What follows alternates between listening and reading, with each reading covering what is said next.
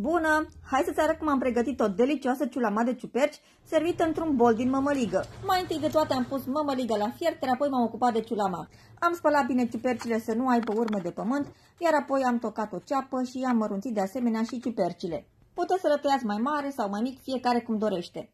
Am încins o cratiță în care am pus ulei de măsline, am rumenit vreo două minute ceapa, iar apoi am adăugat ciupercile. Ciupercile au rămas să se gătească, iar mămăliga a fost gata și haideți să vedeți cum am pregătit acel bol din mămăligă. Am folosit două boluri, unul mai mare și unul puțin mai mic. Bolul mare l-am uns în interior cu puțin ulei și am pus în el mămăliga. Bolul mic l-am uns pe exterior cu ulei, iar apoi pur și simplu am apăsat în celălalt bol peste mămăligă.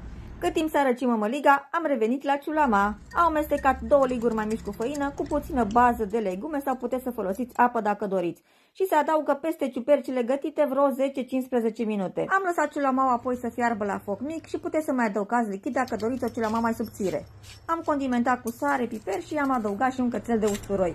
Am mai lăsat vreo 5 minute să se gătească, iar apoi am adăugat mărar proaspăt tocat, puteți să adăugați și pătrunjel dacă doriți. Pentru a se întări mai repede am lăsat mămăliga și vreo 15 minute la frigider.